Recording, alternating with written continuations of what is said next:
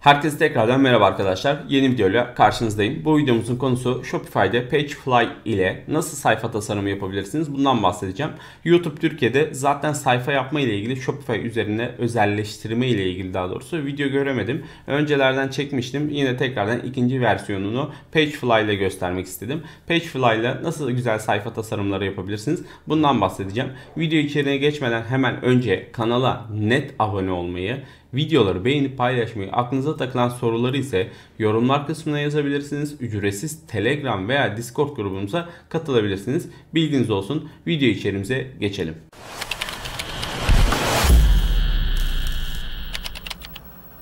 Öncelikle web sitemizi açıyoruz. Web sitemizi açtıktan sonra bizim bir Pagefly eklentisine ihtiyacımız var. Bu eklentiyi nereden kuruyoruz? Uygulamalara geliyoruz. Buraya Pagefly yazıyoruz. Arama yapalım. Otomatik olarak eklentiyi aramaya gidiyor.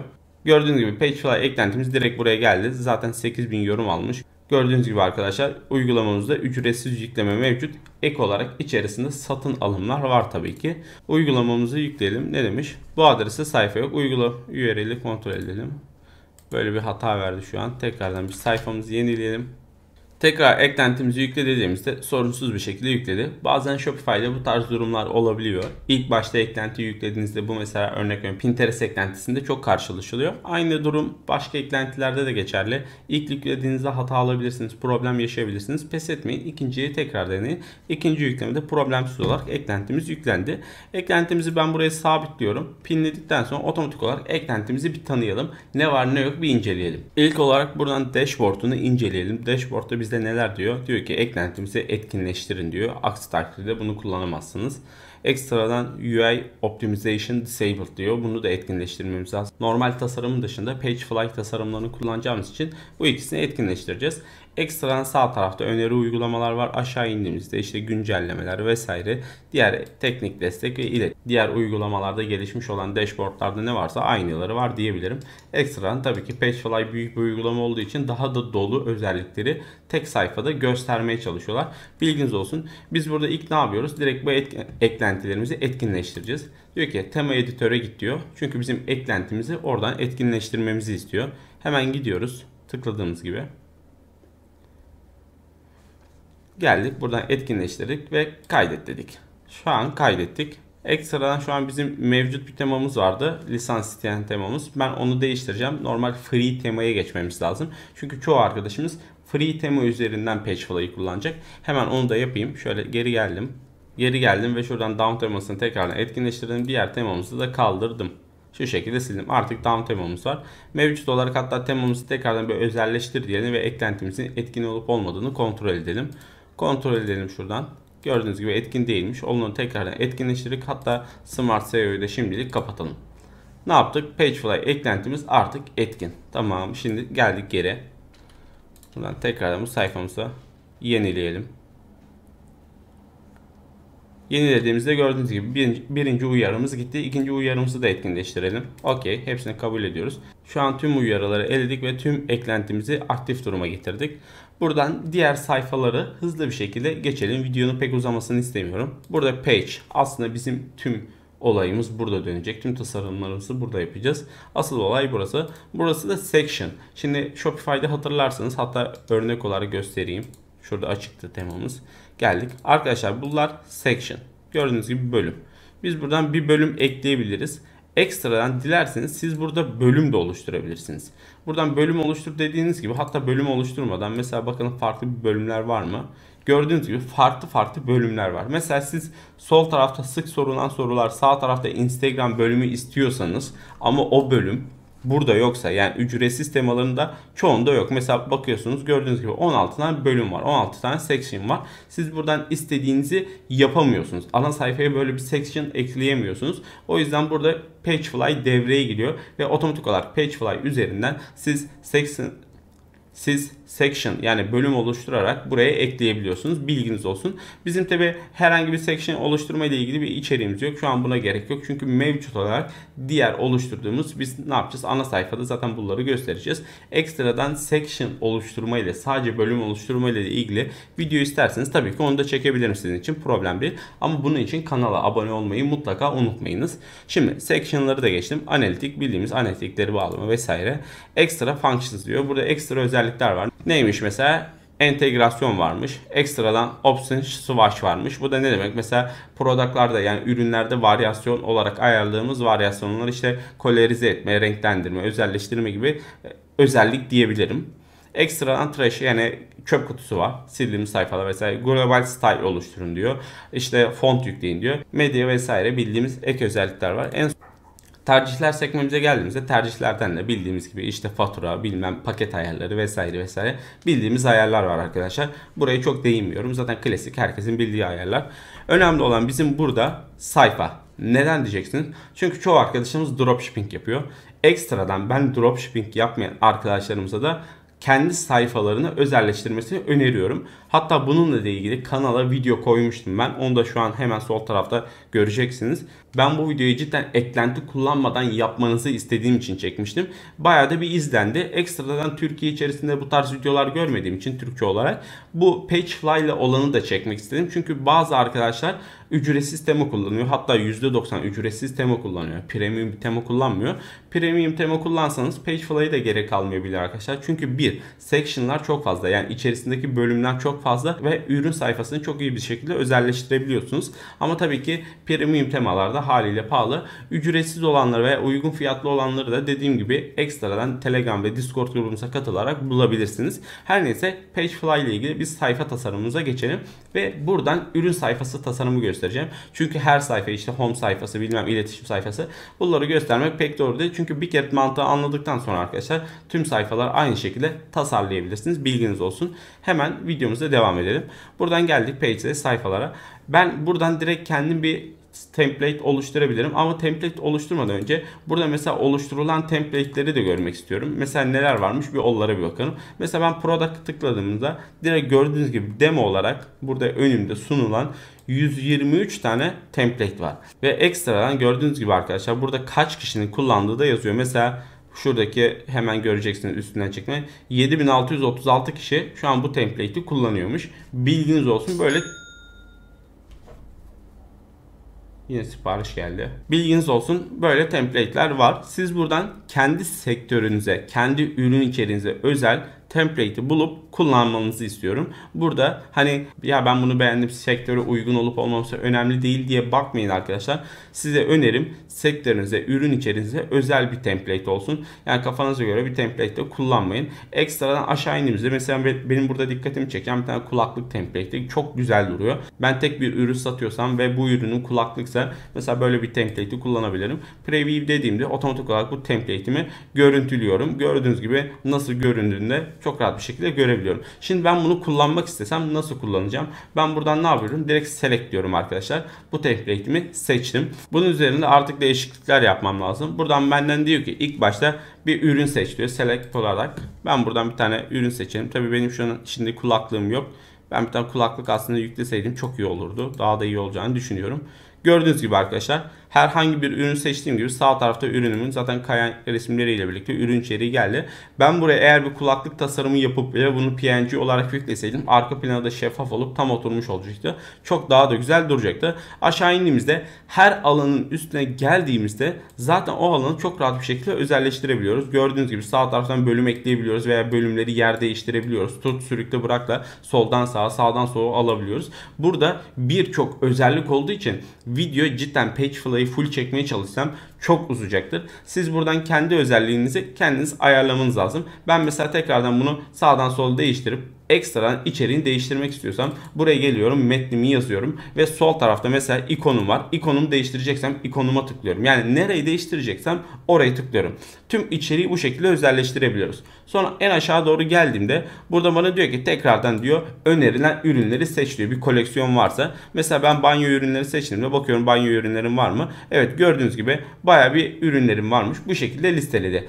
Bana diyor ki kaç tane ürün listelemek istiyorsun? Ben diyorum ki 4 tane olsun tek satır olsun. Ekstradan burada diğer işte tablette, mobilde gizlemeyi veya diğer cihazlarda nasıl göründüğünü hepsini görüntüleyebiliyorsunuz arkadaşlar bu şekilde. Ve Pagefly'da bu şekilde şablonu yapıyorsunuz. Şimdi ben bir tane şablon oluşturdum. Bunu bir tane çanta ürününe atadım. Örnek bu şekilde görüntüleyin. Ben şimdi bunu bir sevdiğim ve bunun ismini örnek veriyorum. Tek bir ürün yaptığım için arkadaşlar burada çok dikkat edin bak tek bir ürün sitesi kurduğum için siz isterseniz 2-3 ürün de yapabilirsiniz. Her ürüne farklı şablon yapacaksınız. Burada dikkat etmeniz gereken mesela diyelim bizimki kulaklık olsun. Kulaklık ya da direkt şöyle yapalım. Kulaklık yapalım. Şöyle bir isim koyduk. Ben bunu sevledim. Tekrardan bana bunu gösterme diyorum ve kaydettim. Okey bir daha şunu kaydedelim. Okey. Şimdi buradan yayınla diyorum. Yayınladım ben bunu. Template'imi yayınladım. Okey süper. Continue diyelim. Şimdi benim buradan hangi ürünü bunu göstermemi istiyordu. Ben buradan çantamı şöyle benim buradan bu çantamı tekrardan seçip yayınla diyorum ve bu çantada bu şablonun kullanılmasını istiyorum. Yayınladım. Şimdi yayınlansın arkadaşlar. Komple bitsin.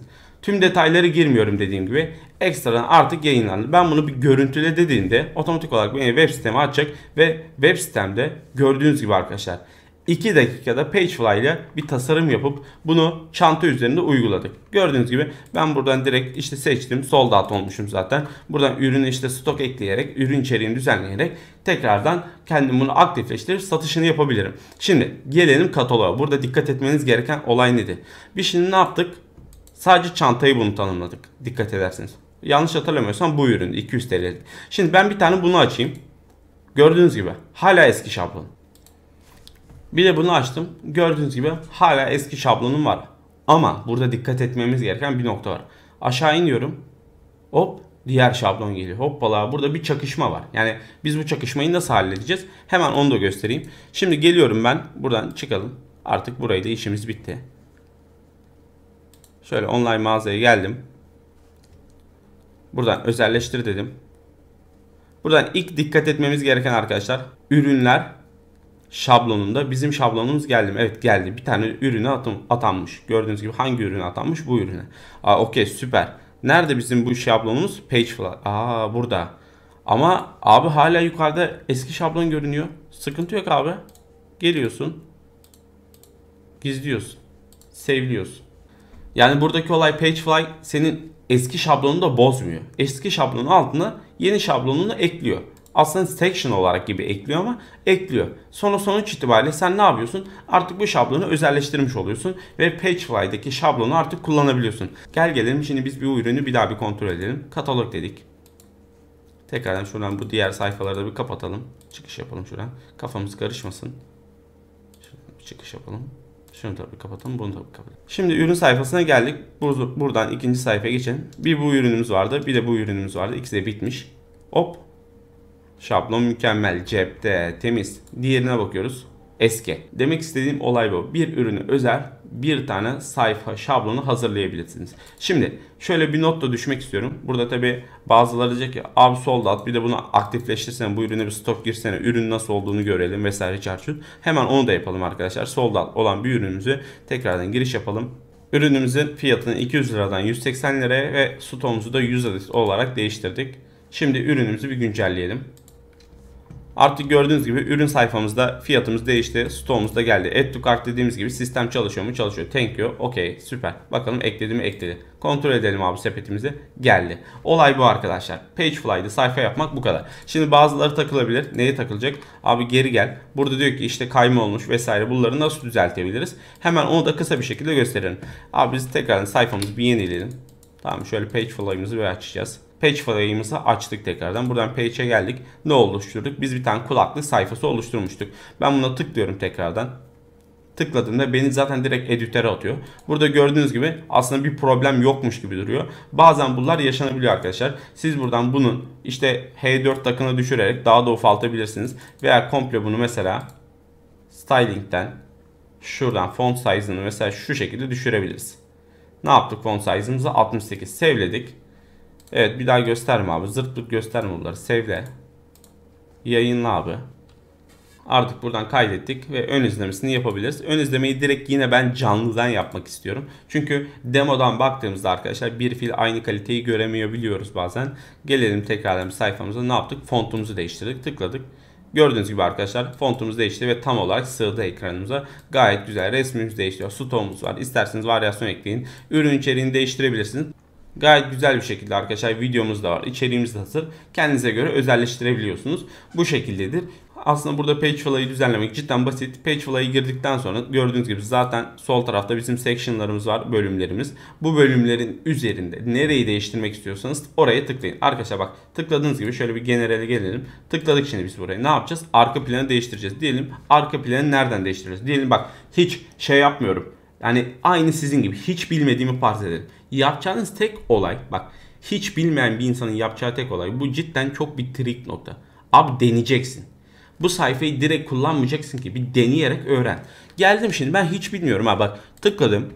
Bakıyorum ulan diyorum arka plan nerede? Arka plan yazmıyor yazmıyor hiç buralara bakıyorsun yazmıyor. Bakıyorsun styling. Aa bak ne oldu? Sağ taraf çıktı cepte. Tamam sol taraf neymiş? Sol taraf renk. Sıkıntı yok. Ama renk nerede? Ulan bir bakıyorsun hemen üstte yazıyor. Ya zaten buradaki arkadaşlar olay bak tıkladığın gibi değişti görüyor musun? Bak hiç bilmediğim halde değil. Ne yaptım? Burada gezerek görebiliyorum. Şimdi tabii ki altyapı İngilizce, İngilizce bir eklenti. Ya burası ya bu eklenti %100 Türkçe de olsa tamam mı? Hiçbir fark olmayacak. O yüzden önerim tamam mı? Gezerek öğrenme. Şimdi section'da bunu bulmadın diye. Robot tıklarsın. Baktın panel değişti. Aa burada bakarsın. İşte burada yok mu? İşte koluma tıklarsın. Sol taraf bölüme tıklarsın. Aa baktın burada mı? Aa süper ne varmış? Font family mesela. Değiştirirsin abi fontu. Baktın bir şey değişmedi mi? O zaman demek ki buradan değil dersin. Anlatabiliyor muyum demek istediğimi? Ya bir şey değiştirdikten sonra burada o değişikliği göremezsen bil ki orada değil. Ama diyelim ben font family'yi değiştireceğim. İşte tek tek tıkladım tıkladım geldim product title'a. Ulan product title'a geldim. Ulan burada bir font seçili. İşte neyse ben şu fontu bir seçeceğim. Bitti. Olay bu abi. Anlatabildim mi demek istediğimi? Yani bazı arkadaşlar A'dan Z'ye göstermemi istiyor. Ya kardeşim YouTube kanalında 250 geçen video sayısı var. Hadi eski videoları saymıyorum. WordPress'i de saymıyorum. Shopify ile ilgili 100 tane video var. Hepsini neredeyse detaylı olarak göstermişim. Ben buradan bu ikonu şuradan değiştireceğim. Şöyle boyutunu ayarlayacağım. Bunu sana bir fiil anlatırsam olacak şeyi söyleyeyim sana? Maksimum bir ay sonra bir güncelleme gelecek. Abi buton burada yok yazacaksın. Bunu yazmaman için kanala abone ol. Güncel videoları da takip et. Ama sana önerim bir şeyi de öğrenmek istiyorsan burada ben sana mantığını gösterdim bunu. Sayfayı nasıl oluşturduğunu gösterdim. Nasıl bağladığını gösterdim. Ve korkma abi sen burada bu yük eklentiyi ücretsiz olarak kullanıyorsun. Geleceksin tıklayacaksın karıştıracaksın. Abi baktın istediğin oldu mu? Kaydet. Bir sonraki hemen kullanma. Bir sonrakine yine farklı bir şey oluştur. Belki daha iyisini oluşturacaksın. Ve sistem bundan ibaret. Değiştire değiştire. Geldim burada bu alanı değiştireceksin. Boyutunu ayarlayacaksın. Opaklığını ayarlayacaksın. Bak şimdi opaklık şak gitti. Şeffaf oluyor ürün resmi. Bitti. Anlatabildim mi demek istedim? Sistem bundan ibaret. Yani buradaki olayı komple kavrayabilmen için ben sana bu alanları tek tek boşluklar işte margin, işte border, site, style vesaire hepsini tek tek göstermenin pek bir alemi yok. Ama sen burada istediğin şeyi alabilmen için ben sana temel mantığı gösterdikten sonra değiştirerek öğreneceksin. Olay bundan ibaret. Bu ikinci video ve Pagefly ile ilgili cidden çok video izlediniz. Sizden tek ricam bu videoyu beğenip yorumlar kısmına cidden yorumlarınızı yazmanız hani video ile ilgili olabilir işte farklı bir konuyla ilgili olabilir hiç fark etmez. Ekstradan kanala abone olmanızı istiyorum. Hepsi de ücretsiz. Ve ekstradan daha fazla bilgi almak için dropshipping olabilir, e-ticaret genel olabilir, internetten para kazanma ile ilgili olabilir. Abi Telegram grubuna katıl. Discord grubuna katıl. Ücretsiz. Sor sorunu. Diğer arkadaşlarla bilgi paylaşım yap. Ücretsiz bu işi öğren. Bir sonraki videoda görüşmek üzere. Kendinize iyi bakın. Hoşçakalın.